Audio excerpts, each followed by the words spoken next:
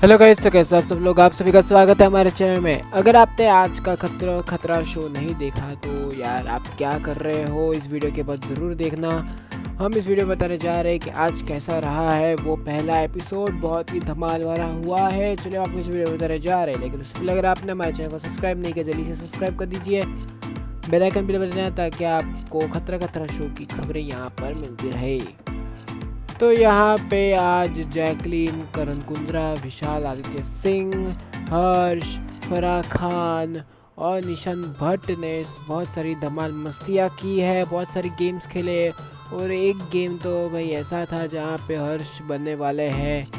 वो शायद वो दो टीम्स है करण और जैकलिन और विशाल और निशान की उनको रोकेंगे ऊपर फ्लैग्स लगाने के लिए तो वहाँ पे फिर फराह खान ने ये बोला कि आप है ना उसको नीचे भी फेंक सकते तो सभी एकदम खुश हो जाए कि आप यहाँ देखा अभी तुझे नीचे फेंकता हूँ।